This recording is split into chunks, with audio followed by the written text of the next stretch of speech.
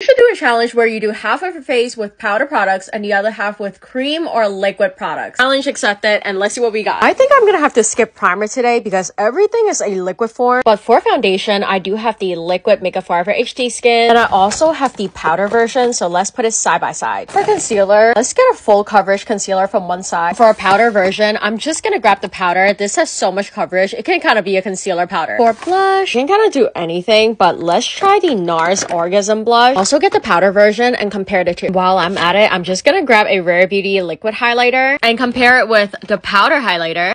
For eyeshadow, we use the powder glitter in this. Compare it with the $6 e.l.f. liquid eye glitter, a cream bronzer, and also a powder formula. Setting everything with a powder. The other side, I'm gonna set it with just a setting spray. Now that we got everything, let's go ahead and do some makeup.